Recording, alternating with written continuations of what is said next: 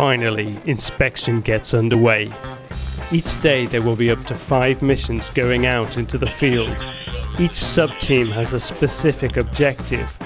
One of the first tasks is to carry out an aerial initial overflight over the whole inspection area.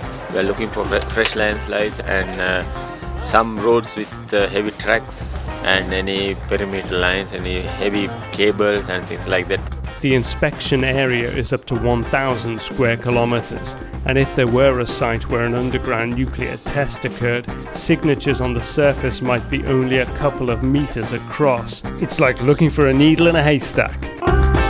Alid is a member of the visual observations team. For some reason, there are problems getting into the air. Flying is currently suspended because of ongoing activities at the airfield. So this is already now a, a significant delay for us. It isn't until the afternoon that they take off.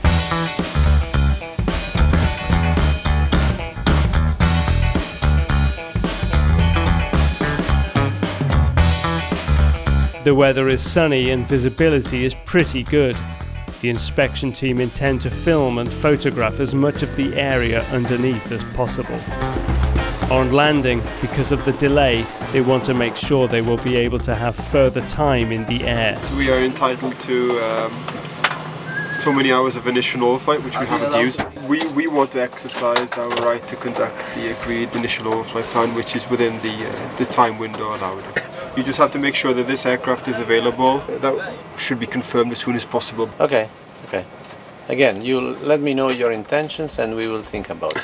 Our intentions are to, is to fulfill the original request. This aircraft will be available. Then, uh, when will it be available next for us to fly? Mm, next week. Next week being, What's the next day we can fly? yeah. Next week, uh, we'll- for flying, uh, we have to consult with the Air Force. Sometimes the inspectors have to be assertive to get what they want. Did you see anything today of interest? We haven't found the smoking gun, I'm sure, but uh, our aim is to narrow down the search area. Back at the base of operations, the data and visual material is logged to be ready for review.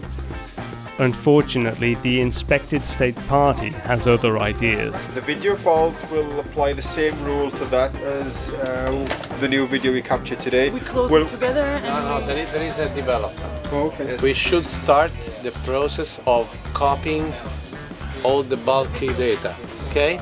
Because this, we Okay. need a copy. Okay, has this been agreed at what level? Yes, I was told that Peter is informed. Okay, I will need to Your cross check if you don't mind. Please, no, no, absolutely. You have to, you will provide the media to us, and then we will sign and we will return to you as soon as we are done.